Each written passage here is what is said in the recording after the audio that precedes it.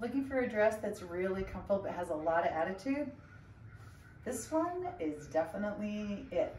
So this is a fabulous knit, but it has a lining built in. Love that.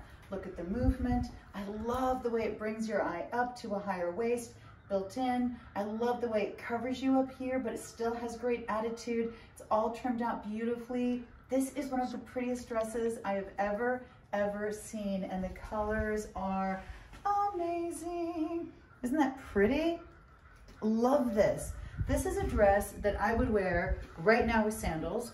I would actually consider putting a jacket over this and boots with it in the fall. I just think the colors go all the time and the, the, the fit is so flattering. You're gonna wanna wear it all the time. But right now we're going into summer. You want something you can throw on that's just gonna be so flattering. Oh my gosh, is this dress it?